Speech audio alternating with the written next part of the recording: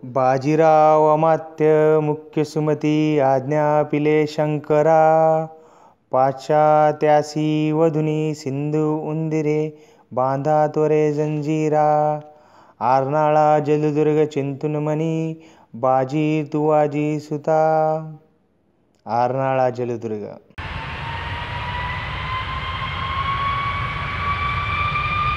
आता आपण आरनाळा बीचवर आलो आहे आणि इथून जो समोर किल्ला दिसतोय पाऊस जास्त असल्यामुळे थोडा दिसत नाही आहे पण समुद्र खवळलेला आहे. जर तुम्हाला आरळा बीचला जायचं असेल बीचवरून किल्ल्याला जायचं असेल तर सकाळी आठ ते बारा वेळ आणि बा संध्याकाळी चार ते सहा वेळे दरम्यान बोटी बोटीने प्रवास करू शकता. पण हे वेळेचं गणित लक्षात ठेवणं गरजेचं आहे कारण दुपारी एकदम भरती असल्यामुळे समुद्रात कमी होण्यात समुद्राला भरती असल्यामुळे बोट आज नेहमीपेक्षा दूरवरच उभी राहिली. म्हणून मी खोलवर पाण्यात जाऊन होडीत चढलो. समुद्राचे खवळलेले रूप पाहून एक वेळ मनात भीतीही वाटली पण आरण्याच्या दर्शनाची कसरत करण्याची तयारी केली. मित्रांनो आता आपण मुख्य प्रवेशद्वारासमोर आलो आहोत जो मेन महादरवाजा.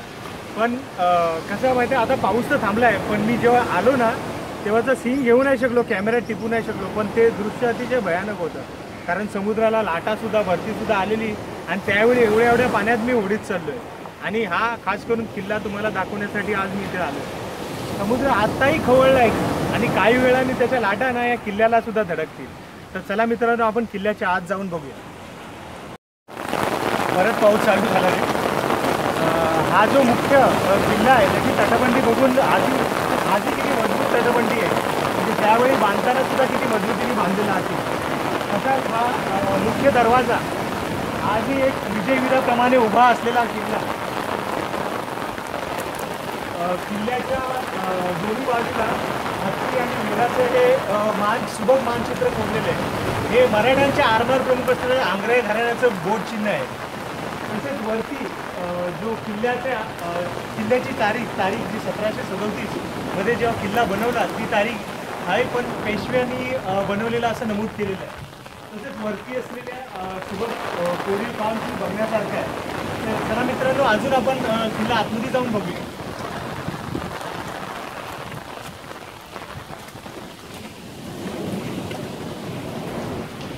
किल्ले किल्ल्यात शैली हा उमट घुमट शक्यतो असे घुमट प्रवेशद्वारापाशी असे घुमट मला शक्यता कदाचितच बघायला बघायला भेटते म्हणजे मी पहिल्यांदा जसं बघतोय तसा घुमट प्रवेशद्वारापाशी नसतात. तर अतिशय कोरीव बांधव आहे घुमट घुमटेचं पण बघायला बघण्यासारखं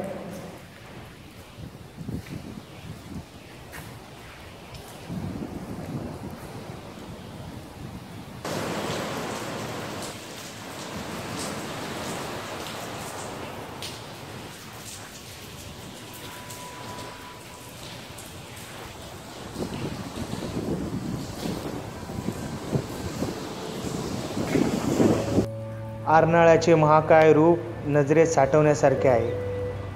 घुमटातून आज शिरताच सर्वत्र तटबंदी नजरेस पडते. किल्ल्याचा इतिहास जाणायचा झाला तर पंधराशे सोळामध्ये गुजरातचा सुलतान मोहम्मद बेगडा याने बांधला. पोर्तुगीजांनी पंधराशे तीस साली हा किल्ला जिंकला व किल्ल्यावर छोटी छोटी बांधकामं केली. सुमारे दोनशे वर्षाच्या पोर्तुगीजाच्या सत्तेनंतर हा किल्ला सतराशे सदोतीसमध्ये मराठ्यांच्या ताब्यात आला. आणि पोर्तुग्यांप्रमाणेही पहिल्या बाजीरावाने या किल्ल्याची पुनर्बांधणी केली.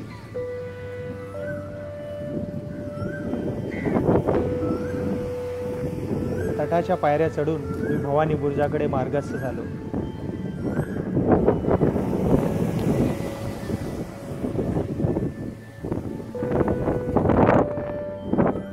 समुद्रावर चारी बाजूनी लक्ष ठेवण्यासाठी हा किल्ला अतिशय महत्त्वपूर्ण आहे. मित्रांनो तुम्ही बघू शकता किती लांबपर्यंत नजर जाऊ शकते? दुरून भयानक वाटणाऱ्या समुद्राच्या लाटा प्रत्यक्षात जेव्हा तटबंदीवर आढळतात आणि शांत होतात. समुद्रांच्या लाटांचा हा खेळ वर्षानुवर्ष असाच चालत आहे. आरनाळा किल्ला चौकोनी असून दहा मीटर उंचीची अखंड व मजबूत तटबंदी यांचे रक्षण करते. तटबंदीमध्ये असलेले बुरुज आजही ताटपणे उभे आहेत. किल्ल्यामध्ये एकूण नऊ बुरुज आहेत आणि आजही ती बघण्यासारखी आहेत.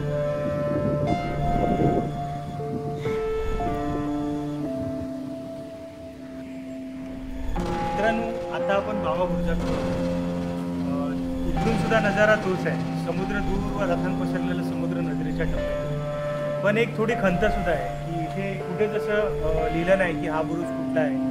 ज्या प्रकारे वसई किल्ल्यामध्ये हालत होती की कुठेच कुठली इन्फॉर्मेशन दिली नव्हती की या बुरुजाला काय म्हणतात या वास्तू कुठली आहे. तशीच आहे. इथे फक्त जाणकार म्हणजे जे स्थायिक लोक आहेत त्यांना विचारल्यावर कळतं की हा बुरुज हे आहे किंवा या बुरुजाला हे नाव देतात. प्लस इकडे या किल्ल्यावर थोडंफार आजही काही अनाडी लोक आहेत ज्यांना अशिक्षित जे शिकूनही काय फायदा नाही की आजही किल्ल्यावर सर्रासपणे नावं लिहितात. खंत वाटतं मित्रांनो किल्ले किंवा ह्या हा हे किल्ले आपला इतिहास दर्शवतात आणि आपल्या किल्ल्यांचे किंवा आपल्या इतिहासाची अशी हेळसांड करू नका मित्रांनो. ह्या गणेश बुर्जाच्या खाली सैन्यांना राहण्यासाठी देवड्या केल्या. देवड्या म्हणजे काय? की सैन्यांना आराम करण्यासाठी केलेली जागा. तर मित्रांनो चला आपण जवळून पाहूया ह्या देवड्या कशा आहेत.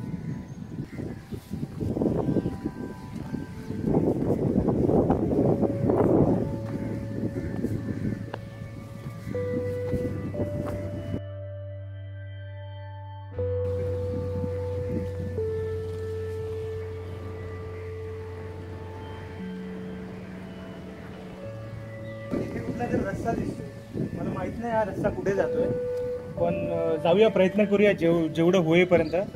थोडा अंधार आहे कारण तरी पण प्रयत्न करूया चला. बॅटरी तर आहे नाही मोबाईलच्या टॉर्चने बघावं लागेल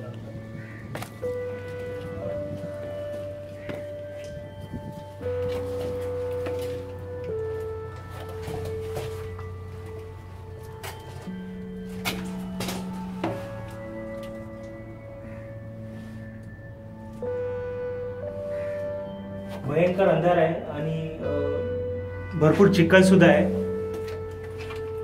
चिखल असल्यामुळे शक्यता होऊ शक शकते की इथे साप असू शकतात. तर मित्रांनो असं टाळा. जे शक्यतो तुमच्याबरोबर मित्र मंडळी असतील किंवा दिवस ढवळ्या जास्त उजेड असेल तर ठीक आहे. पण अंधार असेल तर डेअरिंग करून काय फायदा नाही. ओके?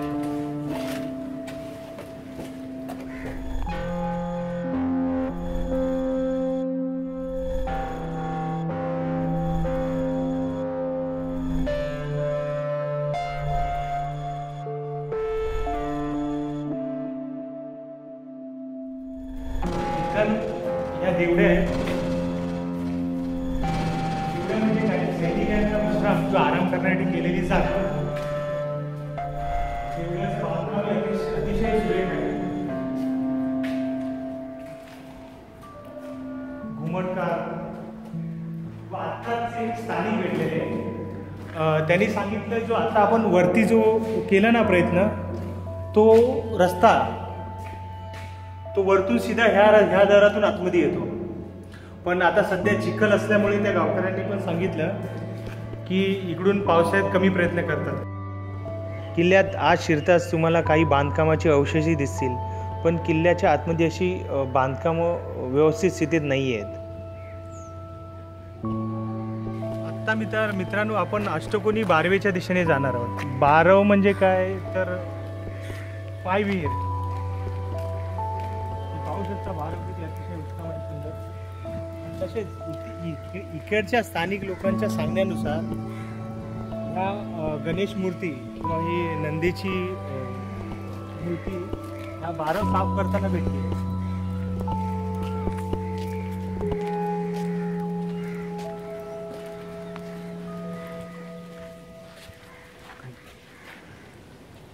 तसेच मुख्य जेव्हा बारव साफ करताना अजून एक श्रींची स्वयंभू मूर्ती भेटली.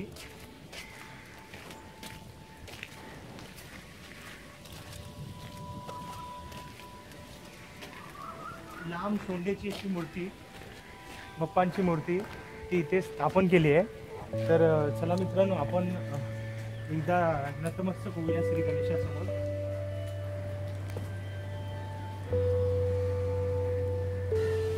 मित्रांनो चला मग मी आता परतीच्या वाटेवर निघालो आहे. किल्ला अतिशय सुंदर आहे सुरेख आहे. फक्त एवढीच ती थोडी व्यवस्था नाही राखली आहे. पण तरी पण किल्ल्याची तटबंदी आणि बुर्ज ही बघण्यासारखी आहे. तर अवश्य आहे की इथे भेट द्या.